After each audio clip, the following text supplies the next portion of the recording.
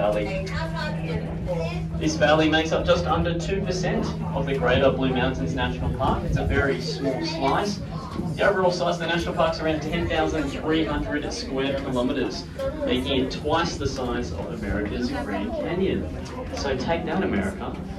Have Mount Solitary right in the middle of the valley, the large flat top mountain there. You can actually walk out, camp on top of that bad boy.